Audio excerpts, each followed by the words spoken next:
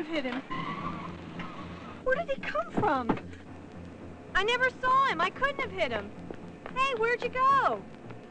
Where are you? Hey! Hey, where are you?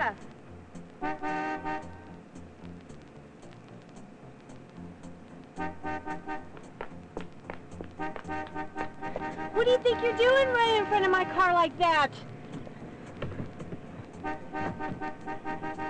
Come on, we gotta get out of here. You're filthy. Actually kind of cute under all that. Well, you do look like you've been on your own for a while. Terrific. Now what am I to do with you? I'm already late for Mr. Sheldon's meeting. Well, maybe I could take you someplace out in the country where you won't walk in front of cars. I could take you out to the city park. There's lots of open space there. You'd love it. You'd leave it.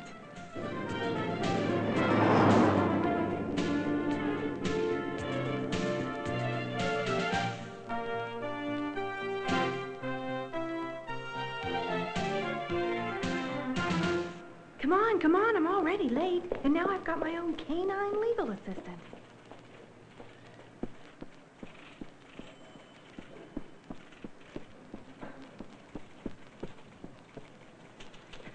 Messages? I said, Cindy, what is that? State's evidence or something? Uh, she ran out in the street in front of my car. Oh, Cindy, you're always the softy. Anyway, Mr. Sheldon had to start the landers meeting without you, and he wants those adoption case papers by... Cindy? Cindy, Martha, do you own a dog? I've got the best, dear. Quiet, never barks, and very clean. Doesn't require shots or trips to the vet. No neutering either. He seems quite content. Really? Is he a purebred? Absolutely. 100% pure polyester. Martha. Cindy, you're not thinking about keeping that dog, are you? I don't know, maybe. Here, What's that? yesterday's paper. You're gonna need it.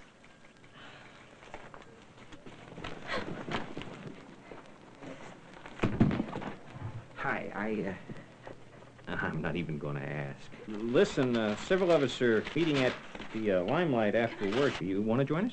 Yeah, sounds good, but uh, I'll probably be a little late. I have an errand to run after work. Yeah. Okay.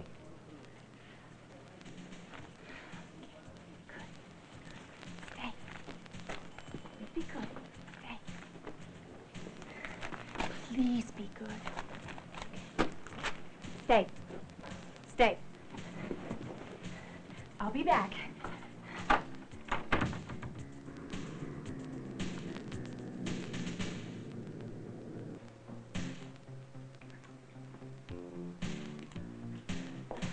Oh, may I help you? I hope so. I found this dog. Well, she sort of found me, really. I was going to leave her in the park, but that didn't seem right. No, you did the right thing. This is our fifth lost dog today. Uh, Bill, you mind taking this dog back to the kennel? I've driven past her a lot, but I've never had a reason to stop. Well, come on, follow me. I'll show you around. Don't forget your sash. You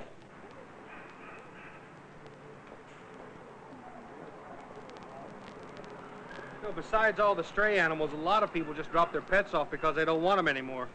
I never realized there were so many dogs here. Oh, not just dogs, but all the stray and unwanted cats. There are just too many animals and not enough responsible pet owners. You know, we'll be lucky if the owners come to claim the ones that are lost. If they don't, all we can do is try to place some of them in new homes. It's not their fault. It's all the people who allow their pets to wander through the neighborhood, letting them breed and produce more unwanted pets. Who end up here? That's right. Now, this dog you've got, I bet she'd make a great pet. Oh, well. I haven't owned a dog since I was a child. Chances are she'll be here a while if the owners don't come to claim her. Let me know if you're interested. A dog? Nah. Hi. Oh, hi. Hi. Well, did you get your uh, errand taken care of? Yeah.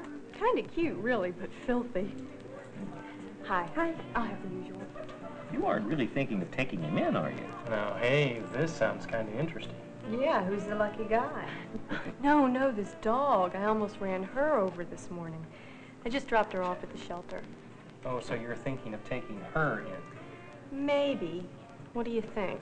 You'll have to decide for yourself. There's going to be some changes to your lifestyle that you'll have to accept. Yeah, but some are pretty neat. Oh, yeah. Since I got my cats, uh, I've always got company. they love to play, and they're always getting into mischief. Sounds like fun. I remember playing for hours with my dog when I was a kid. Maybe I ought to get that little dog at the shelter. You know, she wouldn't cost much if I got her there. Just spaying and shots. Right, right. What? Let me draw you a picture of this free animal you're considering. Food, tags, a fenced yard, entertainment, kennel fees, vet fees, health and beauty aids, repairs. Mm-hmm. And then there's insurance, uh, special apartment deposits, obedience schools, and I have to feed and take care of him even on days when I don't feel well. Uh-oh. No such thing as a free lunch, right? Or a free dog. And there are a few other things you ought to think about, too. Well, a new addition to all your furniture and carpet, and clothes. Oh, and maybe you're at a great party and you meet this really neat guy, and so you want to stay a little while. But you know your dog is sitting by the door waiting to go outside. You make it sound like it would be less trouble taking care of a baby. If it's so tough, why have a pet at all? Because they love us and we love them. They're fantastic companions. Yeah, I love being with my cats. Sometimes I think they're the only ones who can make me relax without even trying. You wouldn't believe the guys I've met at obedience training classes and walking my dog. I've even made some good friends just because we have something in common right away. Excuse me. I couldn't help overhearing. It may sound corny to you, but I get a real feeling of being loved and accepted by my dog. She loves to go camping just like we do. Claire and I got an older dog, and she's been just terrific to us. We feel good that we saved her life by getting her to shelter. And we really enjoy her company. That's right. Uh, a pet gives your life a, a sense of purpose that goes beyond your office work and professional life. Still a dog. I have to think this one over. Time for your cartoons. Oh, hi. Oh, hey. Come on. Hey, guys. Hi. Hey. Well, hello there. Oh. Hi. Uh-oh, looks like you found a friend here. How long have you had this pooch? Three years. I Three think. years, yeah, last yeah, May it was. I see you walking him a lot. He seems really well behaved. Oh, he is. He's a good dog. Oh. And we try to get him out about two or three times a day. Oh, yeah, he helps keep us in shape. A little aerobics instructing. Oh, one and two. Follow me. Well, does he follow a regular schedule? Well, we try to. We get him out about 7.30 before we go to work. Right, work. 7.30 more noon. We take turns coming home to, to get him out. And about 6. We try to get him out by 6 so we can get back in time for the news. Network news. He's a big network news fan. Yeah, and he has got a timer built right in. He knows right when it's dinner time. of course, so does Kurt. Yeah, nice. If it wasn't for the microwave, I wouldn't eat it all. Ooh. So, you, uh, you interested in getting a dog? Well, I don't know. Oh, I bet come you on, is. you really will like it. You really will. But you, one thing you got to remember now: a dog is not an appliance, and it's alive, and, and it's always going to be there with I its own know. He needs. needs a lot of attention. That's He it. really loves the walks we take him on. And these apartments are small. You got to get him out and let him run. There's no commercial breaks with a dog. Okay.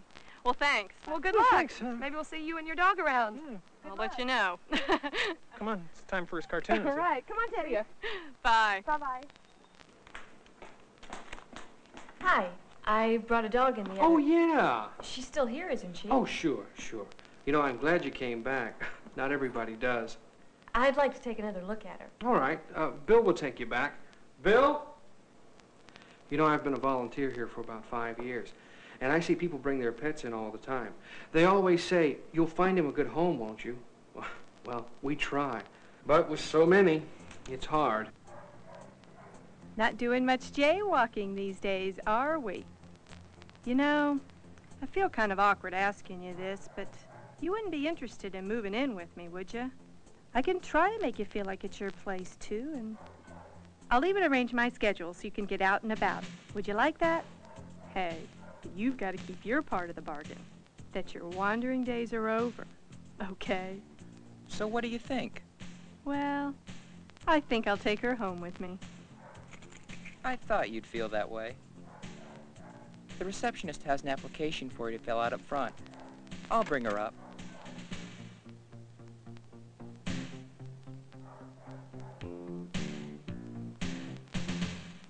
That's fine. I also have a video on caring for your pet I want you to view within the next few minutes. Now, this spay-neuter agreement form states that you'll have the dog sterilized within the next two weeks and that you'll prepay for it at the time of adoption. Will there be any other charges? Just a small adoption fee. Now, this kit contains pet care information, Humane Society pamphlet, local animal laws brochure, and information on how to get the necessary license tags. Okay, anything else? I also recommend you look over this list of local veterinarians. We have an arrangement with several area vets who examine our adopted animals and start them on preventive shots. You can also discuss the right time to have her spayed. Uh, by the way, have you given any thought to what you're going to name her? Hello. I'm Dr. Newton. Hi, I'm Cindy, and this is Homer. Homer, eh? Been on any odysseys lately? Actually, I named her Homer because I want her to stay at home. Oh, spaying will help take care of that. Sterilized pets have less desire to roam, and they're also more gentle and affectionate. About spaying, won't that kind of make her fat and lazy? No, she'll get fat and lazy if you overfeed her or don't let her exercise. Once she's spayed, there'll also be less chance of her developing cancer. The shelter said you could also help with license procedures. Oh, yes. Here's an application. I'll give her her rabies shot. Then you just send in your check with this application and a copy of the rabies certificate for the license. Now, about the spaying. What time would you like to pick her up tomorrow? About this time would be good. See you tomorrow, Homer. Homer!